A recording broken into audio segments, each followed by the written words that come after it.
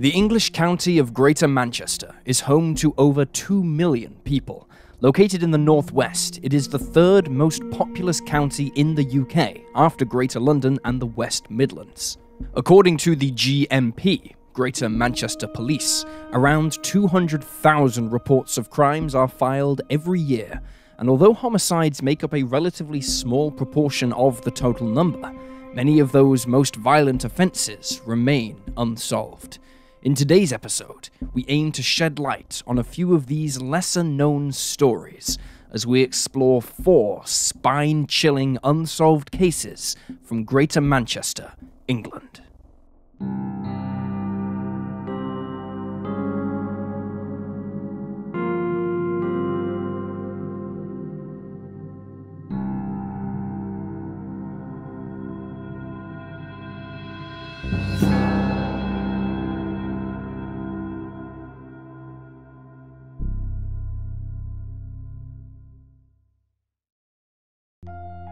Lisa Hession.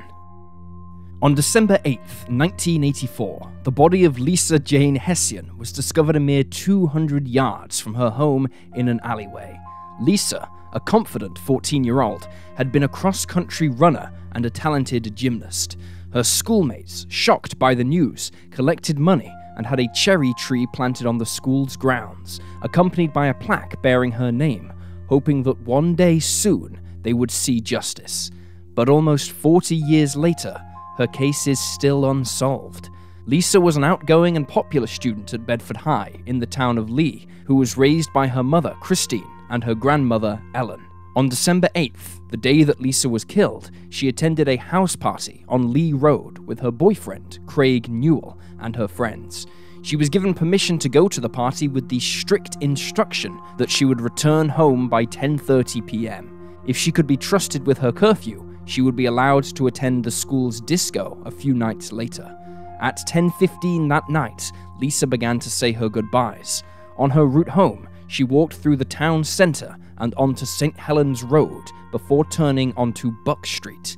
She was just one minute's walk from her home, but she never made it back. Five minutes before midnight, a father and son who were out walking their dog discovered Lisa's body in an alley behind Rugby Road. Christine, who had just notified the police about her daughter's failure to come home, had passed by the entrance to the alleyway where her daughter's body was lying three times, unaware of the horror within.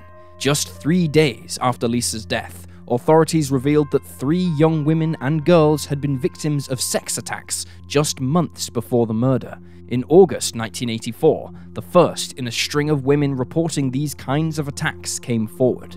20 year old medical records officer Carol Gallagher had been on her way home in Rugby Road when a man, aged 18 to 20, wearing a red hat and a blue tracksuit, put a hand over her mouth and dragged her to the ground. Though he threatened her, Carol was able to talk her way out of the situation, as she had psychiatric training. After speaking with the man, she discovered that he couldn't get a girlfriend, and he even apologized for his actions. The second attack occurred on September 2nd when a man exposed himself to a 16 year old girl near Martha Lane and threatened to break her neck if she screamed. She was hit and pushed against a wall, but managed to knee her attacker in the groin, giving her a chance to run away. Then on September 7th, just one day before Lisa's death, a 17 year old girl was walking along Central Avenue when a man appeared and exposed himself to her. He threatened to kill her if she made any noise and attempted to push her to the ground, but she managed to escape. A fifth attack would later be documented in May of 1985. One week after Lisa's death, a policewoman dressed in a similar fashion as the 14 year old walked down the alleyway where her body had been found. Detectives were attempting to jog people's memories, a well used police tactic at the time, but nothing much came of this. In January of 1985, investigators issued an e-fit of a 5'9, 20 year old baby faced man they wanted to speak to. The image was based on the descriptions given by Carol Gallagher and the teenagers who'd been attacked before Lisa's death, but the man was never identified. At the inquest in April of 1985, pathologist Jeffrey Garrett revealed that Lisa's demise had been caused by pressure on her neck, consistent with her t shirt being tightened around her throat. Her skirt had been pushed up to her waist, and her underwear had been torn. It is believed that while the culprit covered Lisa's mouth with one hand, he pulled her t shirt tight with the other. The coroner concluded that although it was an unlawful killing, the perpetrator may not have intended to kill Lisa. Although a Crimewatch appeal was issued, no concrete leads emerged in the case.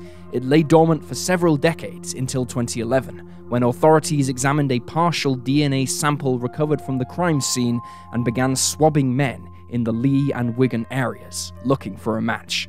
Unfortunately, there were no hits. In almost 40 years, only one person has ever been arrested in the case. He was questioned in the days following Lisa's death and was released on bail. He was never charged in connection with the case and has subsequently died. Sadly, Lisa's mother passed away in 2016 with no answers and no justice. A £50,000 reward is available for information leading to the identity and conviction of the perpetrator. Authorities have noted their belief that the attacker was local knew the area well and was aware that the alleyway was a more private and secluded area to carry out his crime. Dorothy Leyden. On April 24, 1971, 17 year old Dorothy Leyden spent her evening in the front row of a concert by Jimmy Ruffin at the Golden Garter nightclub in Wythenshawe. Dorothy, an avid Motown fan was even able to catch a towel Ruffin had thrown to the audience after wiping it across his brow. She left the concert on a post gig high, happy with how things had panned out. After the excitement was over, though, it was time to get home. The teenager and her friends piled into a cab, but she got out alone at Piccadilly Gardens bus station around 2:30 a.m. She wanted to walk the rest of the way home to save herself some money. Dorothy's body was discovered later that morning on Rochdale Road in Collyhurst. She had been sexually assaulted and beaten to death with a brick. The towel from the concert, a memento from the night she should have been able to look back on fondly, was still in her bag. For decades, Trevor Hardy, dubbed the Beast of Manchester, was suspected of being responsible for her death. Hardy had taken the lives of three other teenagers Sharon Mosoph, Wanda Skala, and Leslie Stewart. He was given life behind bars in 1977, having been convicted of all three killings. Notably, he had attacked Wanda Skala with a brick. At the time of Dorothy's death, there was no evidence tying Hardy to the case, and leads soon dried up. In 2004, though, Dorothy's family asked the police to re examine the case. They hoped that with new forensic techniques and technologies, they would finally be able to get some answers. And though the killer is still at large, what they did find is that Trevor Hardy was not, in fact, responsible for Dorothy's death. DNA evidence pulled from the crime scene at the time was not a match to the Beast of Manchester, although it put the investigation firmly back at square one. But there was some relief that this persisting theory had finally been put to rest once and for all. In 2016, BBC's Crimewatch program ran a segment on the case, including a reconstruction of the teenager's last known movements. Detective Sergeant Julie Adams, who is part of the cold case unit, noted that a surprising amount of information had come in following the show's airing, stating, We have had a really positive response. We received 20 pieces of information which I have reviewed. We've come up with two names that are very, very exciting to us, and that we are going to continue to do some research on. However, if there have been any developments in the case since, they have not been made public, and Dorothy's case remains unsolved. Elsa Hannaway 37 year old Elsa Hannaway spent the evening of October 29, 1987, dancing. A vibrant woman full of life, Elsa had moved to the UK after leaving her home on the island of St. Vincent in the West Indies at the age of 16. On the evening of the 29th, she decided to get a brief respite from her children and spend some time with herself and her friends, dancing and socializing at the West Indiana Sports and Social Club before visiting the big Western pub for a few more drinks. Elsa left the pub in the company of a man who later told the inquest that he felt she was worse for wear. She was next seen on Quinney Crescent, knocking on doors in an attempt to find a party. Shortly afterwards, though, she returned to the Sports and Social Club before leaving at 1:15 a.m. At around 2:45 a.m., An eyewitness saw a woman resembling Elsa arguing with a black man with dreadlocks. The witness, who was exiting a taxi, recalled he grabbed her from behind and put his arms round her and pinned her arms to the side. The witness began to walk away, but looked back in time to see the woman on her hands and knees, saying, Oh my god, as the man stood over her. Not long after this, Elsa was kicked unconscious and dragged 100 yards into Whitworth Park in Rusholme. She was then sexually assaulted and beaten to such a violent extent that she lost a tooth, suffered brain damage, and was dealt severe internal injuries. Her body was left nude, and her clothing had been left behind at the scene, along with a Sekonda watch, which investigators soon discovered was not Elsa's, indicating it may have belonged to her killer and possibly came off in the struggle. The man with the dreadlocks was seen running from the park at 3:10 a.m. Elsa's body was found around 5 hours after her death by a jogger passing through. In the following days, authorities conducted house to house inquiries and began to put together a picture of Elsa's last known movements. But frustratingly, nothing more has come of the identity of the man seen with the mother of five that night. The public had very little information to offer, and in the years since, there has been allegations that policing at the time was heavily racist and saw officers accused of harassment, abuse, and brutality of families in the area during the 1980s. For this reason, many were afraid to speak with police officers, which possibly hampered the investigation. Though the initial investigation involved 125 detectives, it was essentially put aside after a few years, as authorities ran out of leads to investigate.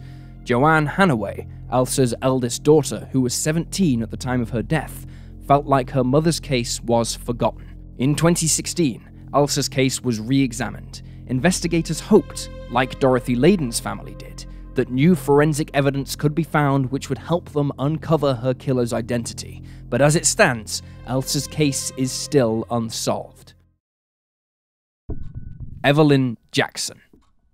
Evelyn Jackson was a 97 year old great grandmother living in Longsight when she was brutally beaten by a home intruder on November 28, 2003. That day, Evelyn had been home alone when her doorbell rang. When she answered it, she was greeted by a man who claimed he was looking for her great granddaughter.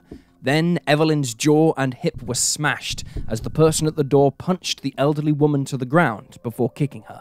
The perpetrator made off with Evelyn's savings, which she had planned on using to buy Christmas presents that year, and she was left traumatized and severely injured on the floor. Evelyn only had one arm and was a wheelchair user, as well as being partially deaf. She had survived cancer, a heart attack, and TB over the course of her life, and had been living alone as a perfectly capable elderly woman under caretaker supervision. The attack was unlike anything the local community had seen, with her family labeling the culprit as a coward. Evelyn was discovered shortly after the incident by a neighbour and rushed from her home in Bickerdike Court to the Manchester Royal Infirmary, where she was found to be badly beaten and bruised, having suffered a broken jaw and hip. She died from her injuries 12 days later on December 10th. Before long, word spread about the horrific assault she had endured, and one local offered up a £200 reward for anyone who knew the identity of the attacker. There was some speculation that the perpetrator was local and known to young people in the area, but nobody wanted to come forward and speak with the police. A 14 year old boy was arrested shortly after the incident, but was released on police bail pending inquiries. The investigation into Evelyn's death, however, stalled shortly after it began. In 2016, the case was looked at again, and a fresh appeal for information was launched, though it appears to have garnered no significant leads. Evelyn's granddaughter, Diane Monks, recalled how horrified she was to see the brutality her grandmother had endured when she went to visit her in hospital, stating, I nearly passed out. She was covered in bruises. Her face was nearly completely black. I just don't understand how someone could have done that to my grandmother, a 97 year old woman. Evelyn's loved ones described her as tough, funny, and always joking and laughing. Diane remembered she's missed. She never stopped talking about getting her telegram from the Queen when she was 100. She was so excited. Tragically, Evelyn's attacker is still unidentified. If you have any information about the cases of Evelyn Jackson, Elsa Hannaway, Dorothy Leyden, or Lisa Hession, you can contact Crime Stoppers anonymously. at 0800 treble 5 treble 1. And there you have the facts. Please leave a comment down below with your own theories and speculations, and remember to like this video and subscribe to support the channel. Thank you for watching. Stay alert, stay safe, and I'll see you next time.